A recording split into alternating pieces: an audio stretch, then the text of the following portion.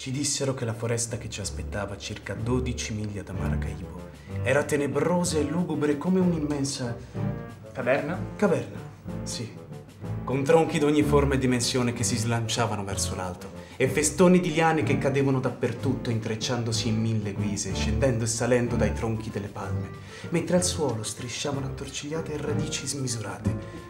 Ma tutto questo non ci rallentò, anzi, eravamo più che sicuri Che ce l'avremmo fatta. Beh sì, il catalano a bordo ci disse che una volta a terra sarebbe bastato legarsi alle caviglie delle grosse lucciole, chiamate cucuio, stando ben attenti a non strozzarle.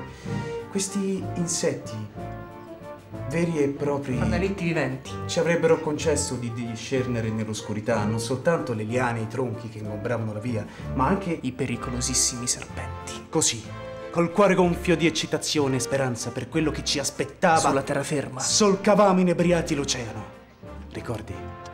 Quel giorno la folgore veleggiava Placidamente. su quelle acque di smeraldo, terze quasi come un Cristallo. In mezzo a quella nitida Immondizia. si vedevano pesci strani Fumare. in tutte le direzioni, Bestemmiando. rincorrendosi e divorandosi. Nel frattempo, Si vedeva anche sorgere l'orchite. e salire alla Cintola. con un poderoso colpo di frusta quei terribili mangiatori di carlini chiamati Lorenzo. squali molto Alti. e non meno feroci Baci. e gli occhi Grassi. piantati Alle pendici. e la bocca Moscia. e armata di runghi Amici. triangolari.